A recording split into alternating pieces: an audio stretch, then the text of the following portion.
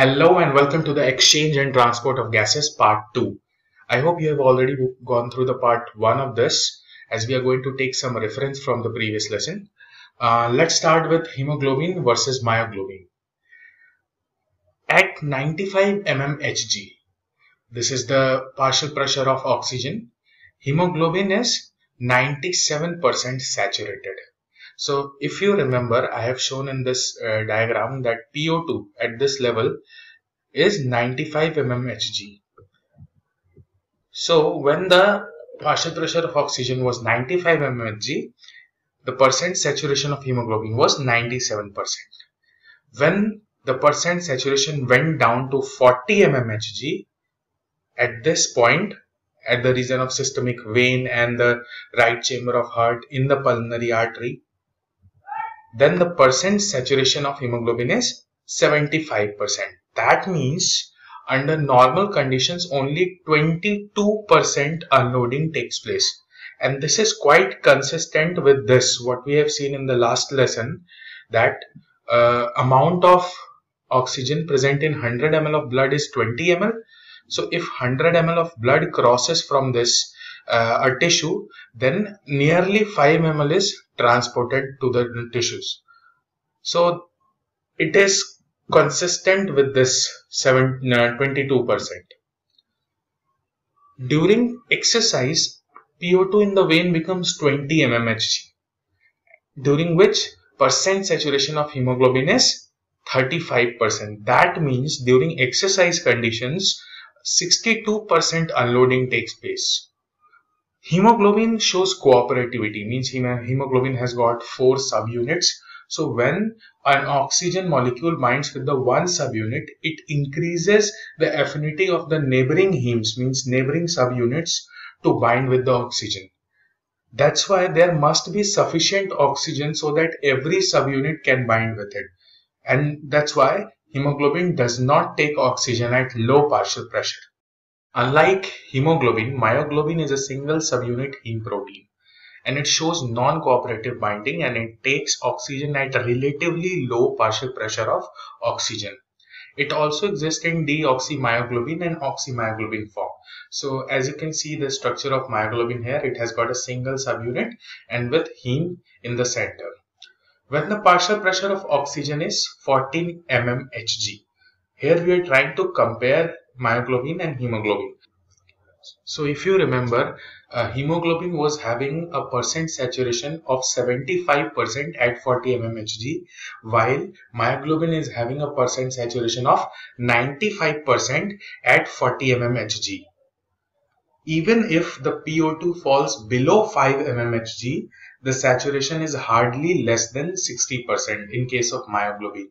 So as you can see, myoglobin can't donate oxygen to a greater extent as compared to the hemoglobin. So that is why myoglobin is not an ideal carrier of the oxygen. So after this brief comparison of hemoglobin and myoglobin, let's move to the transport of carbon dioxide. First, as dissolved in plasma, 7% of the carbon dioxide transports in this way. So it is clear from here that carbon dioxide is more soluble in plasma than the oxygen. Second, as carbamino hemoglobin, HbCO2, 23% of carbon dioxide uh, is carried in the blood by this uh, way uh, as carbamino hemoglobin. What happens? Carbon dioxide, it combines with the amine group of the alpha and beta chains present in the hemoglobin forming carbamino compound in a reversible reaction. Most of the transport of carbon dioxide takes place in the form of bicarbonate ions. So how bicarbonate ions are formed? Some of the dissolved carbon dioxide reacts with water forming carbonic acid H2CO3 which immediately dissociates into bicarbonate HCO3- and hydrogen ions H+. This reaction is slow in plasma but fast in the RBC due to the abundance of enzyme carbonic anhydrase in the RBC. So as you can see this reaction carbon dioxide when combines with water in the presence of carbonic anhydrase it forms carbonic acid and again under the catalysis of carbonic anhydrase H2CO3 is dissociated into H plus and HCO3 minus. And most of the carbon dioxide, nearly 70% of the carbon dioxide is transported in the form of bicarbonate ions. So what is happening here? Let's see this bicarbonate comes out in the plasma. So in the last line as we have said that uh, this reaction is slow in the plasma but fast in the RBC due to the presence of carbonic anhydrase. So the HCO3 formed in the RBC, it comes to the plasma down the concentration gradient since the, there is less HCO3 minus in the plasma so HCO3 minus diffuses from the RBC into the plasma so in exchange, chloride ions move from plasma into the RBC, maintaining the electrical balance between the blood plasma and the RBC cytosol. And this phenomenon is called as chloride shift or Hamburger's phenomena. This occurs at the level of tissues, means at the level of internal respiration. So we have seen here that in order to compensate the negative ions coming in the plasma, plasma sends negative ions to the RBC. So this is chloride shift. And how can you remember this? Uh, you can remember it as कल हम burger खाने अंदर गए कल stands for CL burger खाने अंदर गए and that's how um, you can remember it. Let's go to the next slide. At the level of lungs, this reaction gets reversed because as we know that HCO3 can't be exhaled from the lungs. So at some point of time, it's, it must be converted into CO2. So how does this conversion takes place? Uh, so HCO3 minus enters into the RBC again.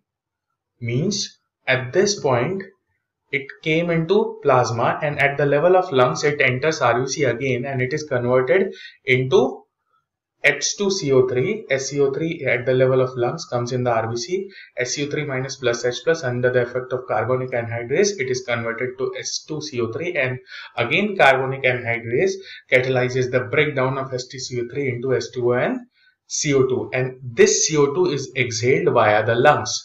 And this is the reverse chloride shift and this is necessary for the removal of carbon dioxide. Now we will talk about Haldane effect. Haldane effect, it is based on the fact that binding of oxygen to hemoglobin leads to the formation of oxyhemoglobin, greatly influence the amount of carbon dioxide that can be transported in the blood. Means the formation of hemoglobin greatly influence that, uh, that what amount of carbon dioxide will be transported in the blood. So let's see uh, at the level of lungs the uptake of oxygen means as you know if somebody is in inhaling the air so at that time oxygen is coming and that oxygen is combining with the hemoglobin to form oxyhemoglobin and as more and more oxyhemoglobin is being formed so that will replace the hemoglobin bound carbon dioxide as more oxygen will, uh, would require the hemoglobin to bind with it so carbon dioxide will gradually get replaced from the hemoglobin, facilitating its elimination through the exhalation. So this is one way of the removal of carbon dioxide. And the second way is formation of oxyhemoglobin uh, and we know that oxyhemoglobin is a strong acid so it releases H plus ions into the blood and these H plus ion combines with HCO3 minus to forms H2CO3 which is again dissociated in the presence of carbonic anhydrase to release CO2 plus water and this CO2 is finally exhaled.